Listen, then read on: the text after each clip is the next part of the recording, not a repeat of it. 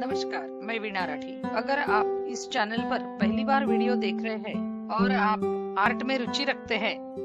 तो इस चैनल को सब्सक्राइब कीजिए ताकि आपको मेरे वीडियो की जानकारी मिलती रहे